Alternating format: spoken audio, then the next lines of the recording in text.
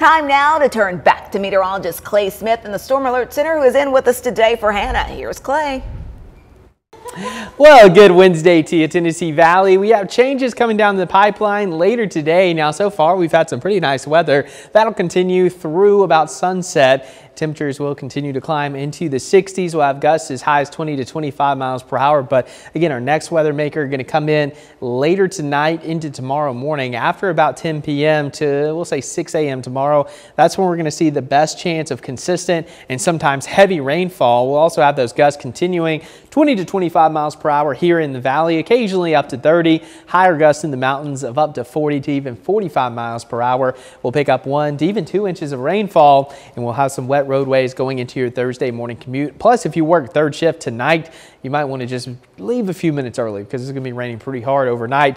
Here's a look at your wind gusts continuing at about 25 miles per hour this afternoon. Tonight, as that cold front gets closer to us, that's when those wind gusts are really going to pick up. Look at Scottsboro, gust over 40 miles per hour, almost at 40 miles per hour. That'll continue for the first part of your Thursday morning. So there could be some sporadic power outages with some of these stronger gusts coming through, but we're not expecting any severe weather. So no tornado threat, no threat for straight line winds, just some gusty winds ahead of this front. And here's your setup. So heavy rain continuing to settle in across Mississippi and Alabama this afternoon. We have tropical moisture from what was Hurricane Rafael moving in and ahead of that front. It's going to help pick that up. So add these two things together, we're going to get a pretty good chance of seeing some nice rainfall. So the rain coming into play between about 2 and 4. So the next couple of hours across Middle Tennessee, I'm thinking after 5 to around 7, that's when we'll start to see the first rain. Now, of course, the more consistent rain going to come in a little bit later during the evening. And as we take a look at your future futurecast, so by about 5 o'clock, notice the coverage is pretty light. So no,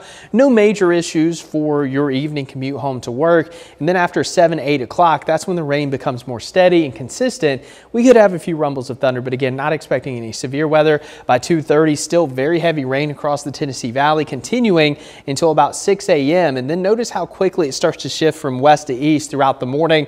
By about about 10, 11 o'clock. Most of this is going to be to our east. We'll still have a few sprinkles and overcast skies will stick around for your Thursday, but most of the rain is going to wrap up by the time we get into Thursday afternoon. How much could we receive? Well, I'm thinking anywhere from one to even two inches going to be possible.